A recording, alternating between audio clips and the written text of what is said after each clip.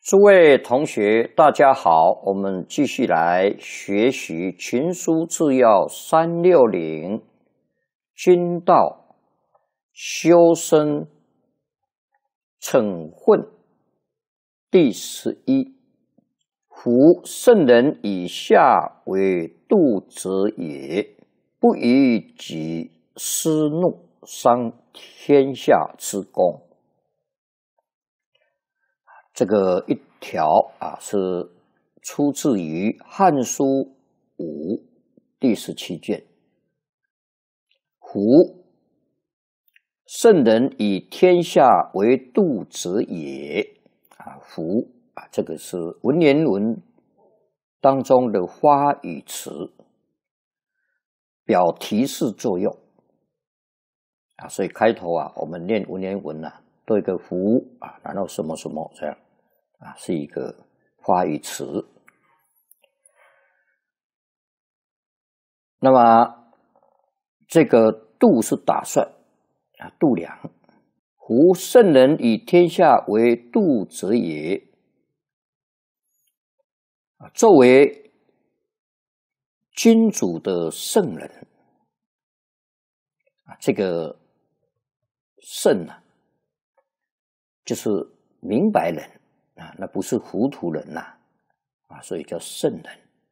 那么，做一个国家的领导人啊，一个团体的领导人，呃，头脑都要清醒明白。那么，时要时时刻刻以天下人民的利益为考量。啊，这个度就是打算了，啊，度量，啊，以这个人民的利益为考量。啊，不能以自己这个个人的这种情绪、怒怒气啊，这个不能用自己个人呐好恶啊，自己这个情绪呀啊，这个好恶啊啊生这个怒气啊，这个这个自己好恶啊就偏私了啊，那偏私呢有。根据个人的好恶啊，啊自己喜欢的啊，那就呃贪啊，不喜欢了那就发脾气，讨厌，生嗔恚心。那这样的一种情绪啊，心里有怒气了，那这个就会失去公平了啊，会伤害了天下的公义了。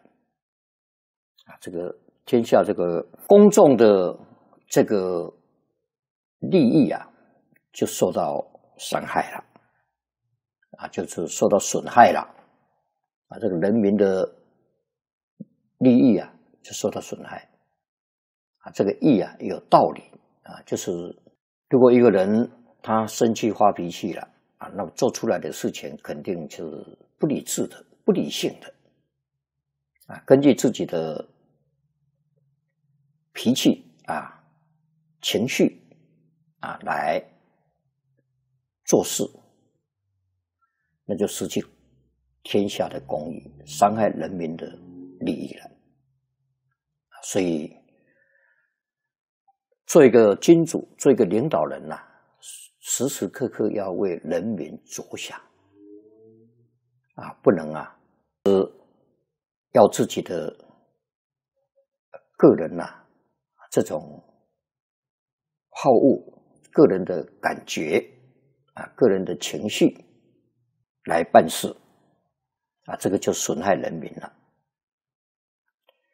所以这个也是非常重要。好，那么这个惩混第十一啊，那就是要管理好自己的情绪啊，不要啊这个以这个。义气来做事非常重要啊！每个人都应当要学习。这一条我们就学习到这里，祝大家福慧增长，华喜充满。阿弥陀佛。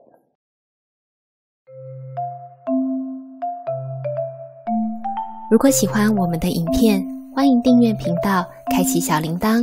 也可以扫上方的 Q R code，就能收到最新影片通知哦。